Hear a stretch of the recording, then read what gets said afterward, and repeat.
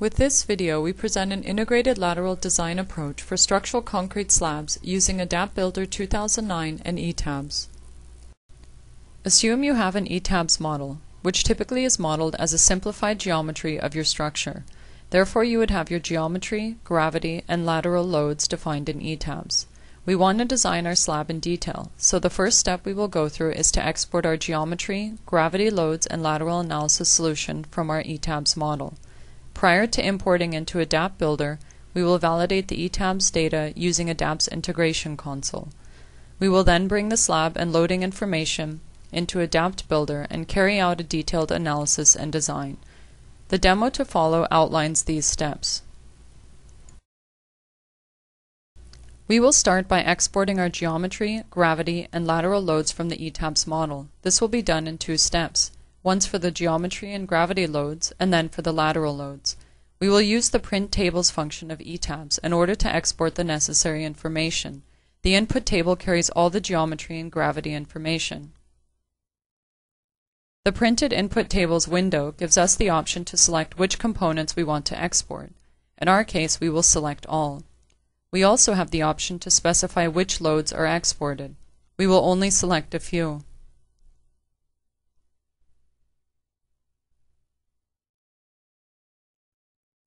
The information will then be printed to a file which will be used later for the import.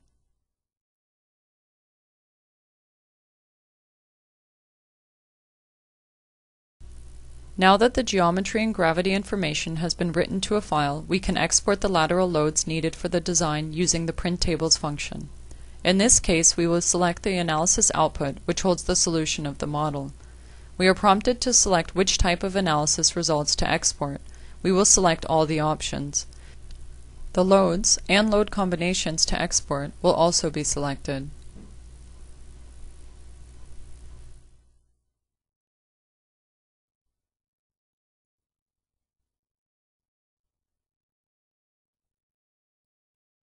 We will then write the information to a file.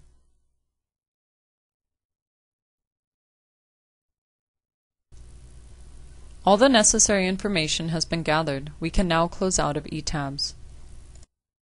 Prior to importing into ADAPT Builder, we will need to validate the ETABS data using ADAPT's integration console.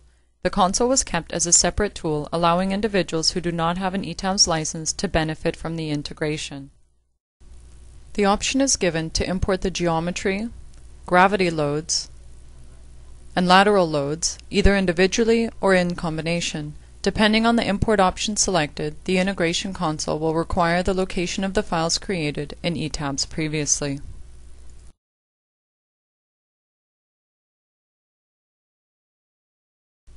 We have the option to select which levels to import. In our case, let's go ahead and select the entire structure. A location needs to be defined for the output file. Once next is selected, an equilibrium check is performed. A summary is reported indicating the status of the check for each of the levels imported.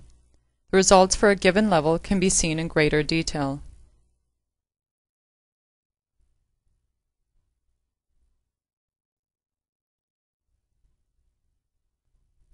We select Finish to exit out of the integration console and launch ADAPT Builder 2009.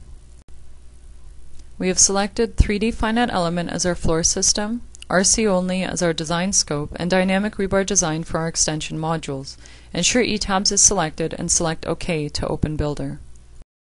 Let's go ahead and import our model so we can start our detailed design. In the File menu, we will select Import and ETABS. We select the file which was created from the integration console. We are then prompted to review and edit the import options available to us. Select which floor to import. The option is also available to select which components to import. This is where you can incrementally bring in changes from ETABS. Under Loads, Load Cases, we will go ahead and select All.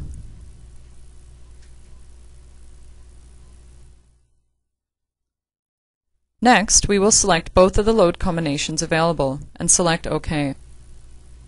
At the completion of import, a lateral load status check window will appear showing the results of the various checks Builder has run for each of the load cases, such as equilibrium and compatibility.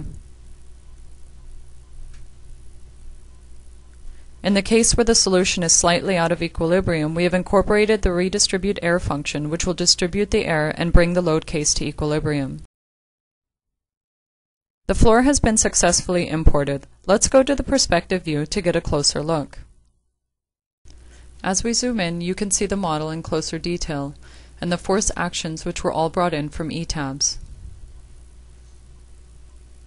Let's go ahead and open this moment at the top of the column and view its details. The load case is lateral seismic X, with the magnitudes as shown.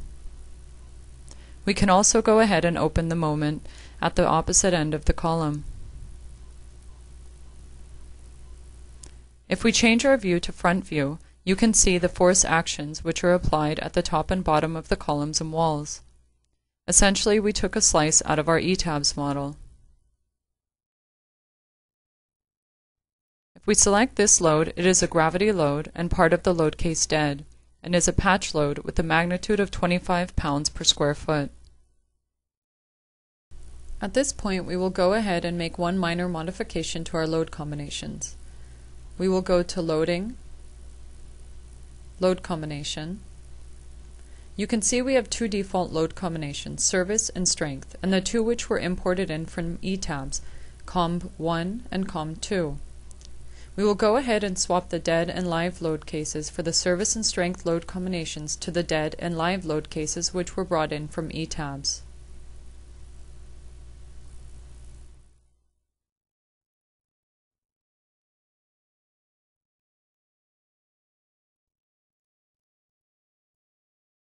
Let's also go ahead and set the two load combinations which were brought in from ETABS to an analysis design option of strength. Once we have completed our modifications, we select OK. We will also go into the Criteria menu and turn off the option to automatically generate column strip middle strip for this video. Adapt Builder is based on the latest finite element technology, whereby an adaptive organic mesh generator automatically detects the intricacies of a floor system and provides well-balanced and consistent quadrilateral finite element cells for an accurate and reliable outcome. We can now analyze the model. At the completion of the analysis, we can view the slab deflections to gain an understanding of its behavior.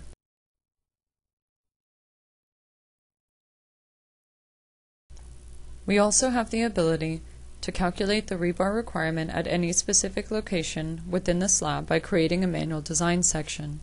This allows us to see as far as rebar goes what is required.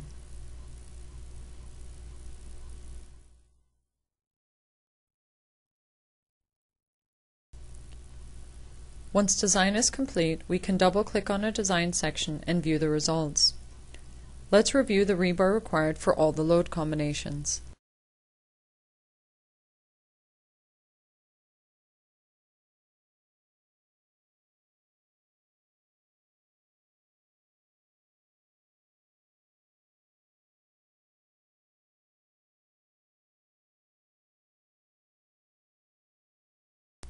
The manual design sections are also great for quick checks and details, but for a more efficient design for the entire floor system, you're better off creating support lines. We start by creating the support lines in the x direction, and then conclude by defining the support lines in the y direction. In essence, we are defining the load path for the x and y directions.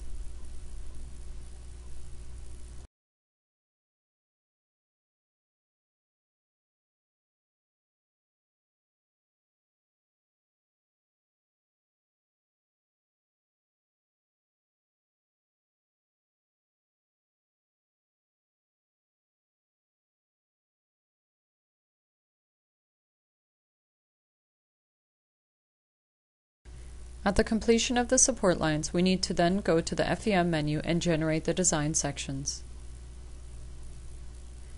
We can now see the tributary regions which we automatically created using the support lines as a guide. Each support line now has design sections which are associated to it. The frequency of the design sections can be defined by you. Let's quickly review all the strips to ensure they are what we had intended.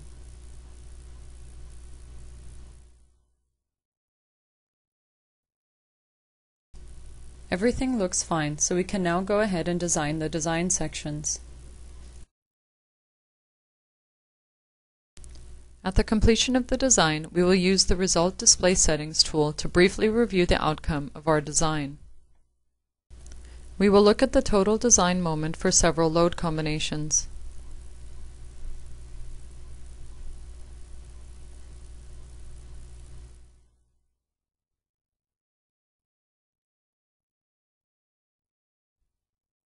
The seismic X only combination will show us the effect of the seismic force on the slab.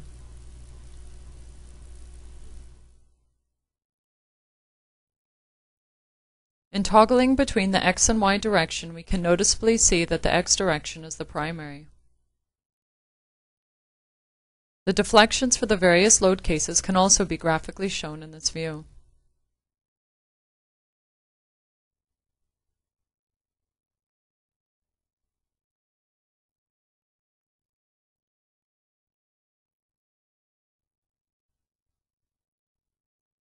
Will go ahead and generate the rebar now. Keeping all the default settings, select OK. This is our reinforcement drawing. Let's go ahead and clean up our view by focusing in on the top bars only in the X direction. Now let's zoom into a column to have a look in greater detail.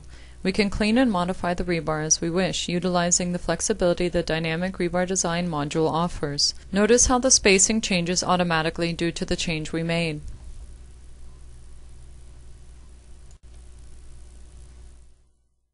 As we edit the properties of the bar by changing the spacing and length, notice how the changes are automatically recalculated and updated.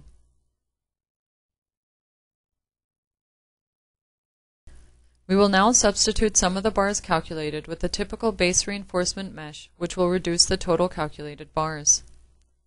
Let's add a top and bottom mesh of number 4s at 18 inches on center. We will then redesign and generate the rebar drawing. In this case, Builder will take into consideration the mesh created, therefore resulting in less overall reinforcement.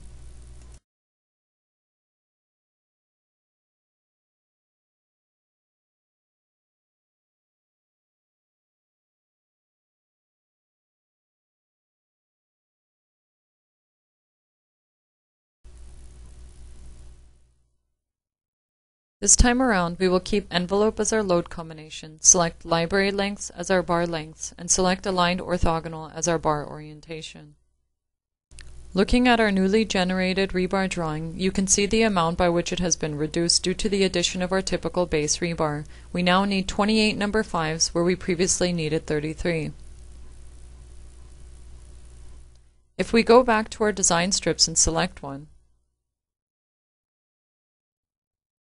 we will be able to see the rebar generated in elevation.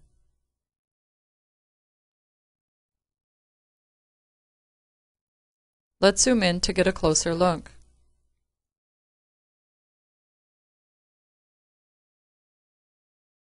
The demo has ended, and we will now conclude this video by reviewing the key advantages of using AdaptFloor Pro to design concrete slabs modeled in ETABS. The first key advantage is that the integration console recognizes and extracts applicable loads.